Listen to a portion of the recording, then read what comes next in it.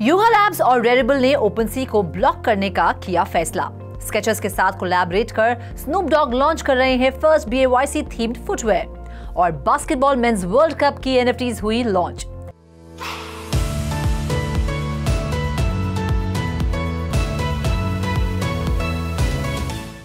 Hello and a very warm welcome to all of you. Snoop Dogg की पहली NFT theme sneaker collection से लेकर basketball men's world cup की NFT तक। कई मज़ेदार एनएफटी अपडेट्स मैं रुचि शर्मा आपके लिए लेकर हाजिर हूँ। तो हो जाइए तैयार एनएफटी वर्स के इस खास एपिसोड के लिए। इसमें आपके फेवरेट एनएफटी प्रोजेक्ट्स की डिटेल्स तो होंगी ही, साथ ही हम एक स्पेशल गेस्ट से भी मुलाकात करेंगे। लेकिन सबसे पहले जानते हैं पिछले हफ़्ते कैसा रहा एनएफटी मार्केट का हाल। अगस्त के आखिरी हफ़्ते में एनएफटी सेल्स 14.06 परसेंट गिरकर 91.86 मिलियन डॉलर्स पर रही।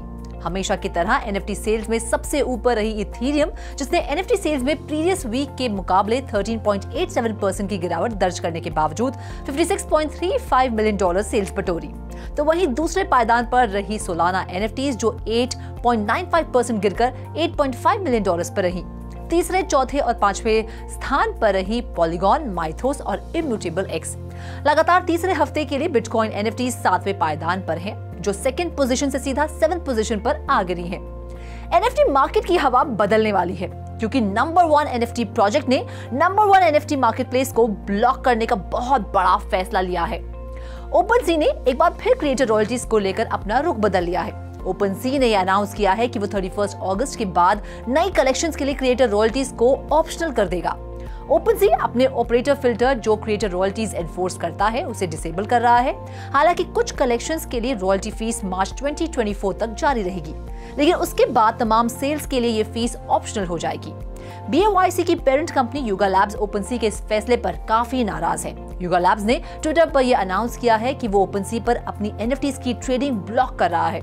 ऐसे में युगा लैब्स की कौन कौन सी एनएफटी कलेक्शन इससे प्रभावित होंगी, ये कहना फ़िलहाल मुश्किल है। युगा लैब्स ने ये फैसला क्रिएटर कम्युनिटी को सपोर्ट करने के लिए किया है। युगा लैब्स ही नहीं, बल्कि पूरी एनएफटी कम्युनिटी ओपन सी के इस फैसले की निंदा कर रही है। क्रिटिक्स का मानना है कि ओपन सी के इस कदम से सबसे ज़्यादा नुकसान उन छोटे आर्टिस्ट को होगा, जिन्होंने अपना बिज़नेस ही रॉयल्टीज के इर्द गिर्द क्रिएट किया है।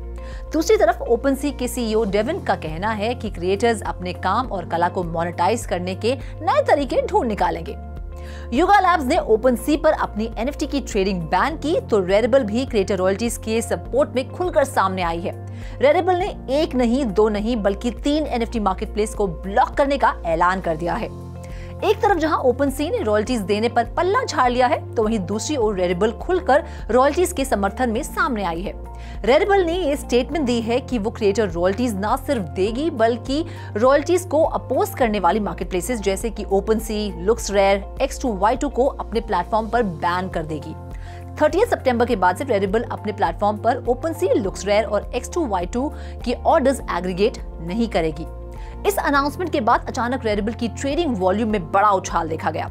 टैपराडर की रिपोर्ट के मुताबिक 24 घंटों में रेडिबल की ट्रेडिंग वॉल्यूम 45,000 डॉलर्स के आंकड़े को छूते हुए करीब 585 परसेंट बढ़ गई।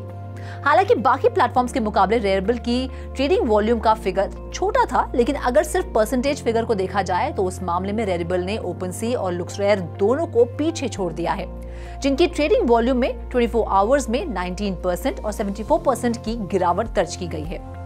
रॉयल्टीज को लेकर मार्केटप्लेस के ऐसे ही रवैये की वजह से जुलाई में इथीरियम बेस्ड एनएफटी प्रोजेक्ट्स की रॉयल्टीज दो साल के सबसे निचले स्तर पर आ गई थी। इस पर और ज़्यादा जानकारी के लिए रुक करते हैं हमारे स्पेशल गेस्ट यश गावड़े का welcome to three dot TV Yash Yash Yuga Labs OpenSea पर अपनी एनएफटीज की ट्रेडिंग ब्लॉक कर रहा है तो वहीं 30 सितंबर से रेरेबल भी ओपन सी लुक्स रेयर और एक्स टू वाई टू के एग्रीगेटर ऑर्डर्स लेना बंद कर देगी ऐसे में एनएफटी कम्युनिटी एकजुट होकर रॉयल्टी के समर्थन में सामने आ रही है आप इस सबको कैसे देखते हैं yeah, with the blur coming in, uh, it started the royalty wars and who will be having zero royalty, etc., etc., and the trading fees.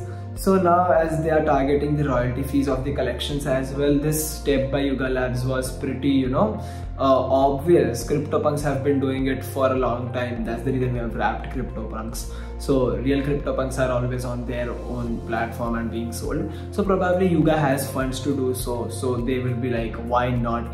And coming to the aggregation part of the Rarible, uh, I don't think it would really make a difference to the NFT space apart from you know because the volume over uh, are also very little and majority of the people are just using you know OpenSea or Blur but yeah Rarible played an important role but with the whole NFT space going down uh, like with the volumes and all going down um, I feel like it won't really make any difference for now. Uh, probably in the next bull run, we might be able to see something that will make a difference in the space but yeah for now Rarible stopping the aggreg aggregation does not make any difference. I uh, that's my opinion. Thank you so much हमसे बातचीत करने के लिए और अपना कीमती समय हमें देने के लिए। स्नूप डॉग इन दिनों इतने गाने और एल्बम्स रिलीज़ नहीं कर रहे जितनी एनएफटीज लॉन्च कर रहे हैं। पेश है आपके लिए स्नूप डॉग की पहली BAYC themed footwear NFT Snoop Dogg एक बार फिर कर रहे हैं स्केचेस ब्रांड के साथ कोलैबोरेट और इस बार स्नूप डॉग अपनी Bored Ape Yacht Club NFT Doctor Bombay पर थीम स्केचेस लेकर आ रहे हैं। हाल ही में स्केचेस की वेबसाइट पर लॉन्च की गई स्ट्रीटवेयर शू कलेक्शन जिसे स्नूप डॉग की पसंदीदा बीएवाईसी एनएफटी की इमेजेस और पैटर्न्स के साथ स्टाइल किया गया था। इससे पहले 1 अगस्त को स्केचेस की collectors edition capsule collection launch की गई थी, लेकिन उस कलेक्शन से काफ़ी अलग है ये लेटेस्ट ओजी कैप्सूल इस कलेक्शन में फुटवेयर को काफ़ी सिंपल लेकिन वर्सेटाइल तरीके से डिज़ाइन किया गया है।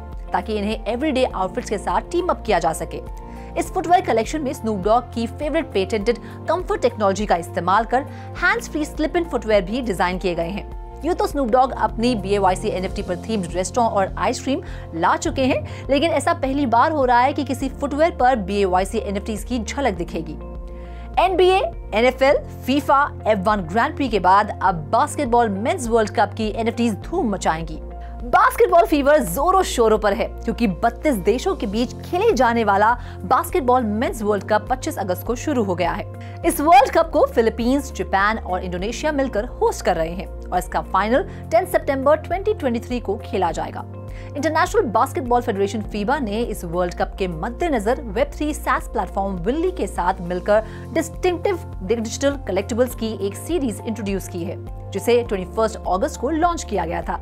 ये एनएफटी कलेक्शन टोटल चार टाइप्स की होगी। Fans frenzy national pride ultimate court side और गोल्डन ग्लोरी इन चारों एनएफटी कलेक्शंस को खास फैंस और कलेक्टर्स के लिए बनाया गया है, जिसमें अलग अलग टीम्स और होस्ट कंट्रीज़ के फ्लेवर्स कलर्स और कल्चर्स का संगम होगा।